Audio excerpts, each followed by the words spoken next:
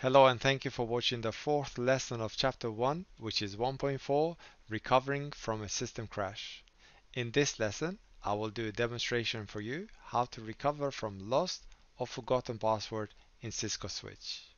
Now I have already a connection to my Cisco Switch but I don't know my user exec password or privilege mode password right so if I press enter my password was Cisco but I thought it was Cisco, but I don't know. I lost it, right? I forgot it.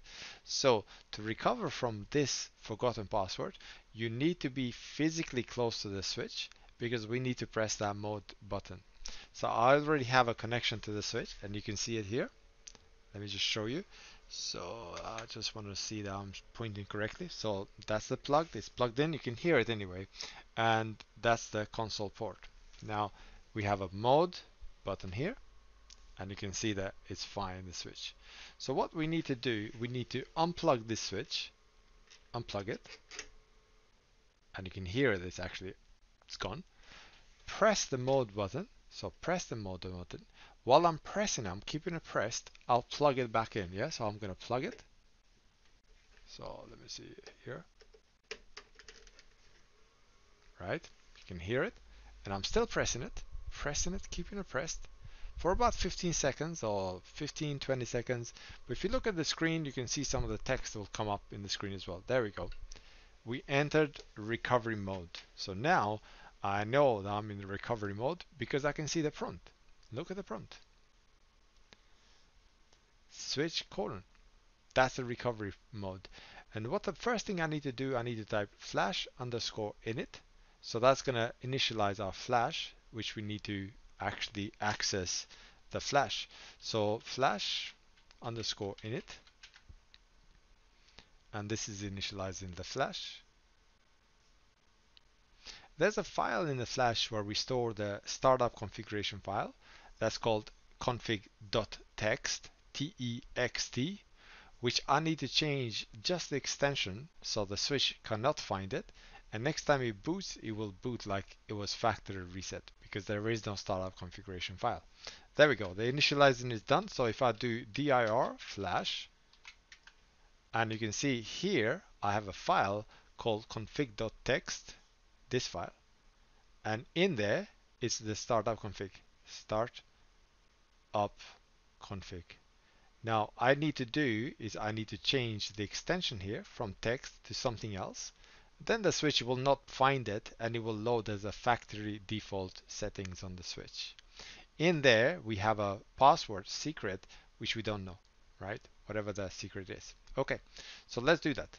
So if I go to, say, uh, rename, rename, flash config.txt to flash config old. I can rename it whatever I want here, but I just like it to put it old so I know this is renamed.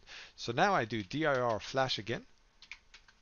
And you can see the file has been changed. The name has been changed from config.txt has been changed to config.old. Right? So next time I'll reset the switch, it's not going to find it because it's going to look for that. But that's not there anymore. It's config.old, so it doesn't exist here. So it's going to reset it as a factory default switch. Right, so type reset and yes, I do want to reset the switch and system will be resetting. Now the switch will reboot and once it reboots, we'll continue. So what I'm going to do is I'm going to actually speed the video so you don't have to wait here till the switch resets. And then when it's back, when it's finished resetting, then we'll, uh, we'll come back.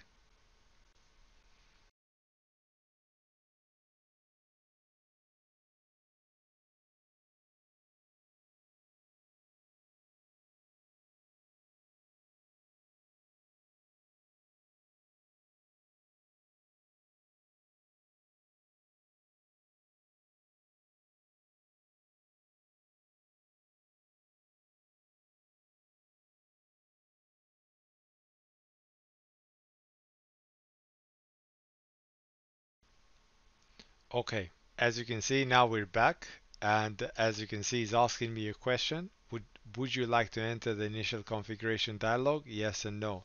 That tells me the switch has looked for the startup configuration file and it has not found it That's why it's giving me the option, do I want to enter the wizard? I'll just say no here, type no and press enter. Now, as you can see, I'm in the user mode, right? I already have access to that. And when I type enable, then I'll be in the privilege mode. As you can see now, I'm in the privilege mode. I was in the user mode, so I have access to the switch. so now I can look at dir flash and um, no here we don't do dir let me just move the mouse a little bit uh, do uh, show flash here and you can see I have config.old and I want to change the name of this config.old so from config.old to config.text because I don't want there is my configuration I don't want to lose it. You see I want to keep that configuration. So for example I'll say uh, rename rename name flash uh, sorry flash config old to flash config text right? And I'll show, show flash again just to see that it's, it's taking effect. Yes it has. Great. Now I want to bring that file into running configuration. So I'll do copy flash config dot text to system running config. Running config.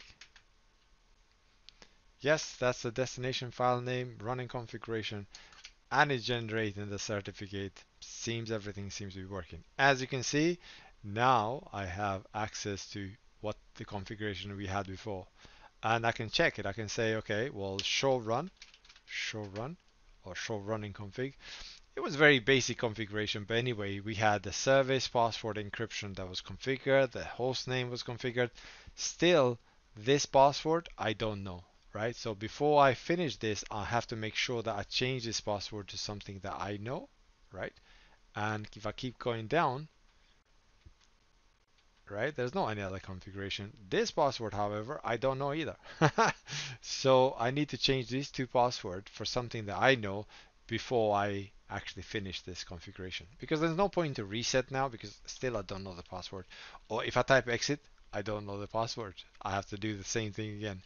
So config configure terminal, terminal, um, terminal, and then change enable secret output class here, and then line console zero, password um, say Cisco, something that I remember, right? In the production, obviously, you use a harder password, but while we're learning, only those two passwords and type end and then copy running config to startup config. Startup config. So next time the router, uh, sorry, the switch boots up, we will be fine. We will have access to it. We can try that. So if I type exit, I'm logged off the router. Type press enter. Then I type Cisco. I'm in now. I know the passwords. Great, great, great, great. Okay, that's it thank you very much for watching this lesson. Um, I just want to go through it again. The system crash, when we do the system crash, uh, we recover, we connect the PC by the console cable, make sure that we have access to the, to the uh, switch, unplug the switch power cord, reconnect the power cord on the switch and press and hold mode button. I will do that before I'll reconnect it anyway. The system LED turns briefly amber and then solid green. Well, to be honest with you, sometimes you not be able, you won't be able to see the front of the switch. So just press the mode button, wait for 15 to 20 seconds, you should be fine. Release the mode button and then the bootloader switch front will appear in the terminal emulation software. And the bootloader command line supports commands to format the flash file system, reinstall the operating system, and recover from lost or forgotten passwords. Okay, thank you for watching this lesson, lesson 1.4, recovering from system crash. This is of chapter 1, basic device configuration. Please have a look at my other videos in YouTube channel and don't forget to subscribe there to stay up to date to everything I'm doing. This has been Astrit Krasniqi. Bye bye.